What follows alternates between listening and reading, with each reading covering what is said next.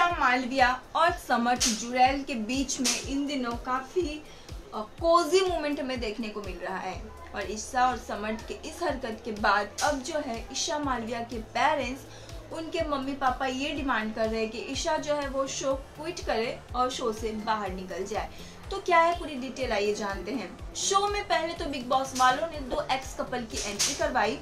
और दो x couple के बीच में फिर धीरे धीरे सब नॉर्मल होते हमें दिखाई देने लगा। लेकिन, जैसे ही अभिषेक और ईशा के बीच सब नॉर्मल हो रहा था, वहीं बिग बॉस ने समर्थ जुरैल की एंट्री करवा दी। ईशा के करंट बॉयफ्रेंड थे जो कि।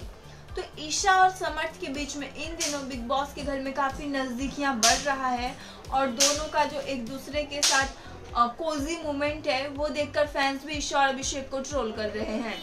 लेकिन इतने दिनों से हमें ईशा और अभिषेक के बीच में नॉर्मली हग और दोनों के बीच में किसेस, रोमांटिक मोमेंट देखने को मिल रहा था। लेकिन फैंस का कहना है कि कल के वीकेंड के बार के बाद समर्थ और ईशा ने बेशर्मी की सारी हदें पार कर दी और इस पे अब ईशा के मम्मी पापा उन्हें शो से निकलने के लिए कह रहे हैं शो से निकलवाने की मांग कर रहे हैं। कल वीकेंड के बाद एपिसोड के दौरान हमने देखा कि किस तरह से समर्थ और ईशा जो है दोनों कमल के नीचे किस करते नज़र आए। साथ ही बाद में दोनों ने रजाई जो है वो ओढ़ के, फिर रजाई के नीचे दोनों थे। तो आपको बता दें कि अब इन सब के बाद उड़ारिया के को स्टार लोकेश भट्ट का कहना है कि वो ईशा के पेरेंट्स के टच में है।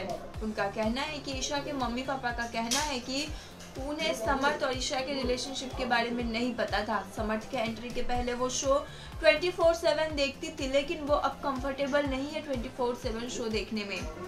उनका कहना है कि उनके और ईशा, यानी कि समर्थ और ईशा के बीच में जो नज़दीकियाँ बढ़ रही है, उनसे वो देखा नहीं जा रहा है। और वो चाहते हैं कि समर्थ को छोड़कर ईशा जो है शो क्विट करके बाहर आ जाए, लेकिन शो का कुछ रूल्स है, जिसकी वजह से ईशा इस वक्त शो से बाहर नहीं निकलती। लेकिन ईशा का ये हरकत देख के उनके मम्मी पापा काफ़ी शर्मनाक हैं। उनके पापा जो है वो एक सरकारी ऑफिसर है और वो चाहते हैं कि ईशा ये सब काम ना करे शो सब में काम ना करे। तो ईशा के काम करने की वजह से भी उन्हें शो में काम करने की वजह से भी उन्हें प्रॉब्लम है और समर्थ और ईशा के रिलेशनशिप को लेकर खास करके उन्होंने आपत्ति जताई है।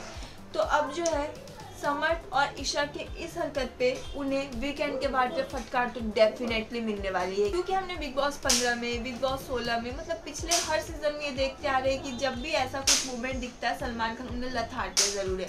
सोलह में हमने देखा था कि गौतम बिग और सौंदर्या के बाथरूम वाले इंसिडेंट्स को लेकर उन्हें काफ़ी कुछ सुनना पड़ा था और सिर्फ़ एक वीकेंड के बारे नहीं, बल्कि पिछले कई वीकेंड के बारे उन्हें उस टॉपिक के बारे में सुनना पड़ा था। अब जब ईशा के मम्मी पापा ने ऐसी आपत्ति जताई है तो डेफिनेटली सलमान खान ने फटकार लगाएँगे। वेल ईशा और समर्थ के इस रिलेशनशिप पे, इस हरकत पे आपका क्या कुछ कहना है? ईशा के पापा मम्मी जो चाह रहे हैं, क्या वो सही चाह रहे हैं? कमेंट में हमें बताएँ और भी अपडेट्स के लिए सब्सक्राइब करें गपशप तो